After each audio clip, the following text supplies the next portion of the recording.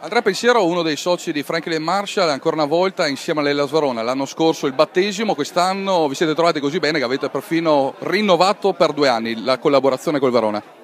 Sì, e soprattutto volevamo iniziare la stagione dall'inizio, cosa che l'anno scorso invece non abbiamo potuto, eh, non abbiamo potuto fare. No, comunque era una cosa che volevamo sia noi che il Verona e quindi alla fine ci siamo accordati tranquillamente, senza problemi. Uomo di moda qual è? Le piacciono le nuove maglie che abbiamo la prima maglia qui alle nostre spalle, la seconda bianca, la terza è nera, insomma il suo gusto da stilista qual è? No, io eh, posso dire che da tifoso le maglie mi piacciono tantissimo, anche da, da, da professionista del settore le trovo molto molto belle, quella bianca in particolare. È un Apollo che poi a Verona non si è mai vista una maglia da gara così.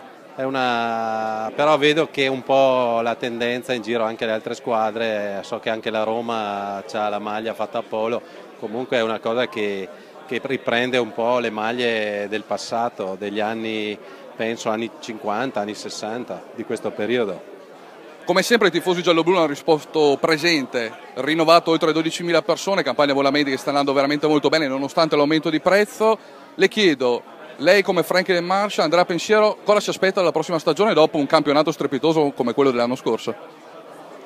Ma adesso vediamo cosa succede se la vendita di turbe eh, porta un po' di ossigeno, di ossigeno, penso che si possano comparare dei giovani, dei, dei, dei, dei giocatori che ci possano far fare un campionato tranquillo.